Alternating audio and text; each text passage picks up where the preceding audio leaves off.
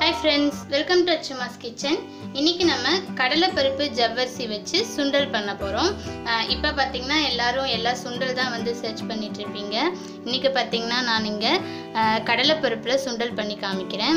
நம்ம வந்துட்டு எப்படி வந்துட்டு கொண்டக்கடலை பட்டாணி அதெல்லாம் பண்ணுவோமோ அது மாதிரி. ஆனால் கொஞ்சம் வித்தியாசமாக நான் இன்னைக்கு ஜவ்வரிசியும் போட்டு நான் உங்களுக்கு சொல்லித்தரேன். அதுக்கு பார்த்தீங்கன்னா நான் இங்கே ஒரு கப் கடலைப்பருப்பு ஒரு டூ ஹவர்ஸ் முன்னாடி ஊற வச்சு எடுத்து வச்சுருக்கேன். ஜவ்வரிசி பார்த்தீங்கன்னா அதே ஒரு கப் ஜவ்வரிசி. இது பார்த்தீங்கன்னா நமக்கு ஒரு எட்டு மணி நேரம் ஊறணும். அதனால் வந்துட்டு நீங்கள் இப்போ காலையில் செய்கிறீங்கன்னா ராத்திரியே ஊற போட்டுருங்க. நான் ராத்திரியே ஊற போட்டு வச்சுருக்கேன். ஒரு எட்டு மணி நேரம் நல்லா ஊறிருக்கு இப்போ ஃபஸ்ட்டு என்ன பண்ணலாம் அப்படின்னா இந்த ஜவ்வரிசியை சுத்தமாக தண்ணியே இல்லாமல் ட்ரைன் பண்ணி எடுத்துடலாம். சுத்தமாக தண்ணி இருக்கக்கூடாது. பாருங்க இப்போ ஜவ்வரிசியை வடிகட்டியாச்சு. இது வந்து அந்த பாத்திரத்தில் வந்து இப்படியே வடிகட்டி வந்து இப்படியே வச்சுருங்க. நம்ம கடலைப்பருப்பு வேக போடணும். அந்த வேக போடுற நேரம் வரைக்கும் பேலன்ஸ் இருக்க வாட்டர் எல்லாமே வந்துட்டு வடிகட்டி அப்படியே வந்துடட்டும் அதனால இப்படியே அந்த பாத்திரத்தில் இப்படியே வச்சிடலாம். இப்போ நம்ம இந்த கடலைப்பருப்பை வேக போட்டு எடுத்துடலாம். ஒரு பாத்திரத்தில் இந்த கடலைப்பருப்பு முங்குற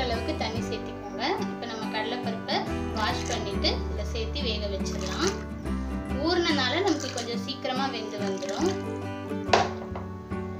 இது கூட பார்த்தீங்கன்னா அரை ஸ்பூனுக்கு மஞ்சள்தூள் சேர்த்துக்கோங்க. கூடயே இதுக்கு தேவையான அளவுக்கு உப்பு சேர்த்திக்கலாம். இது வெந்து வரட்டும். பாருங்க இப்போ நம்ம கடலைப்பருப்பு கரெக்டாக வெந்துருச்சான்னு சொல்லி பார்க்கலாம் கரெக்டாக வெந்துருச்சு. ரொம்ப மாவு மாதிரி ஆயிடக்கூடாது உங்களுக்கு தெரியும் சுண்டல்லாம் வந்து எப்படி இருக்கணும்னு. இங்கே பாருங்க இந்த மாதிரி இருக்கணும் கரெக்டாக அடுப்பு ஆஃப் பண்ணிவிட்டு வடிச்சு எடுத்துடலாம். பாருங்கள் இப்போ கடலைப்பருப்பு தண்ணியிலேருந்து வடிச்சு எடுத்தாச்சு. இப்போ நம்ம தாளிக்கிற பேன் எடுத்துக்கலாம். அதில் நான் இப்போ மூணு ஸ்பூனுக்கு ஆயில் சேர்த்துக்கிறேன். எண்ணெய் காஞ்சிருச்சு. ஒரு அரை ஸ்பூனுக்கு கடுகு போட்டுக்கலாம். அரை பெரிய வெங்காயம். நல்லா நைட்டாக ஸ்லைஸ் பண்ணி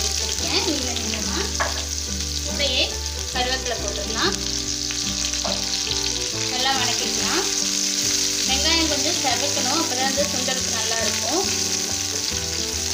கூட பார்த்தீங்கன்னா ஒரு எட்டு வரமிளகா இந்த மாதிரி வெட்டி வச்சுருக்கேன். அதையும் சேர்த்துக்கலாம். நம்ம காரத்துக்கு எந்த மசாலும் சேர்க்க போகிறதில்ல வரமிளகா மட்டும்தான். உப்பு சேர்த்திக்கலாம். நம்ம கடலைப்பருப்பு வேக வைக்கும் போது உப்பு சேர்த்திருக்கோம். அது இல்லாமல் ஜவ்வரிசிக்கு இந்த வெங்காயத்துக்கு எல்லாத்துக்கும் சேர்த்து உப்பு போட்டுக்கலாம். கடலைப்பருப்பு சேர்த்திக்கலாம்.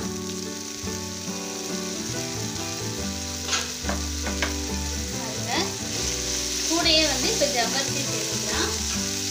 ஜவ்வரிசி தண்ணி இல்லாமல் வடிச்சு ஜவ்வரிசி சேர்த்து நல்லா பரட்டி விட்டாச்சு. இப்போ முக்கியமாக என்னென்னு பார்த்தீங்கன்னா ஜவ்வரிசி வந்து நம்ம வேகலாம் வைக்க வேண்டாம். நம்ம வந்து எட்டு மணி நேரம் ஊற வச்சிருக்கு இல்லையா? அது மட்டும்தான். பாருங்க இப்போ இந்த சூட்லேயே வந்துட்டு ஜவ்வரிசி கரெக்டான பதத்துக்கு வந்துடும் பாருங்க கண்ணாடி மாதிரி ஆயிடுச்சு. இப்போ நம்ம ஒரு கை அளவுக்கு தேங்காய் துருவி வச்சிருக்கேன். இந்த தேங்காவை சேர்த்திக்கலாம். கொஞ்சம் ஸ்பீட் ஜாஸ்தி வச்சு நம்ம வந்து இதை பரட்டி விட்டுடலாம்.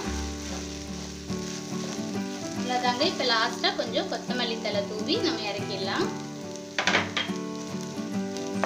அவ்வளோதான் படுப்பு பண்ணிவிட்டு சர்வ் பண்ணிடலாம்.